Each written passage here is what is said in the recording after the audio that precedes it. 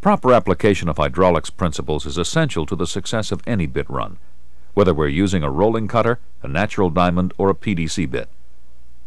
A well-designed hydraulics program can maximize both penetration rate and bit life under a given set of operating conditions. The hydraulics program should accomplish two things. It should provide for effective cuttings removal and hole cleaning, and it should provide for adequate cleaning, cooling, and lubrication of the bit. The key is to optimize the energy delivered through the bit to the formation. Bit hydraulics are influenced by formation characteristics, mud properties, hole size, pressure losses through the drill string and surface equipment, and the capacity of the mud pumps. For all intents and purposes, these parameters may be constant for a particular rig and well.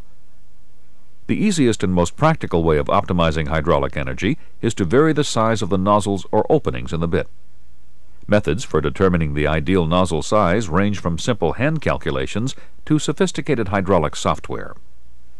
Whichever calculation method you use, keep in mind that hole conditions change throughout the drilling of a well, and that the hydraulics program that worked yesterday may not work today.